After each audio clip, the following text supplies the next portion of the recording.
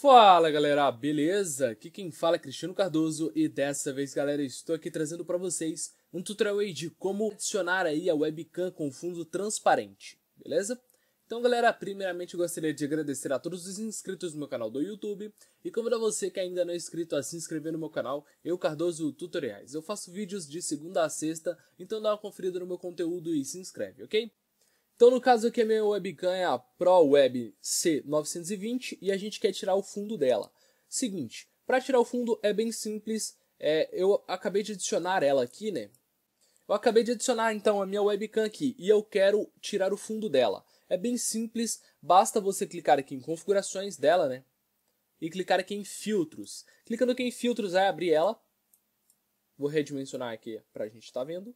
E aqui na parte de baixo aqui, ó, em filtros de efeito. E aqui na parte de baixo vocês vão estar tá clicando aqui. E vão estar tá clicando aqui em Chroma Key.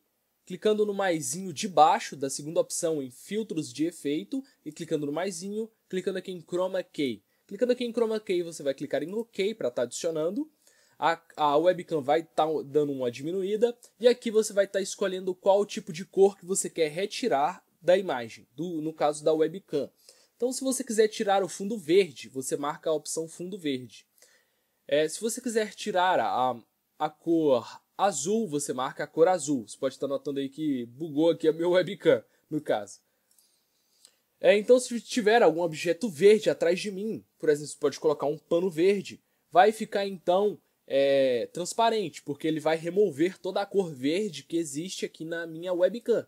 Então, se você tiver qualquer outro pano aí é, um pano da cor é, laranja, então você vai clicar aqui em Custom, vai selecionar uma cor e vai colocar a cor laranja, no caso aqui, para você tirar a cor laranja.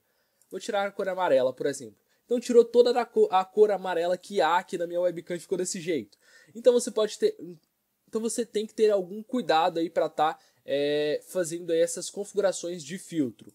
Então você pode estar colocando verde, azul, aqui verde, e colocando um fundo verde atrás de você que vai colocar transparente. Beleza? Então aqui você pode estar dimensionando ela e colocando aqui então o jogo, né? Então eu posso capturar então a área de trabalho. Vou colocar capturar tela.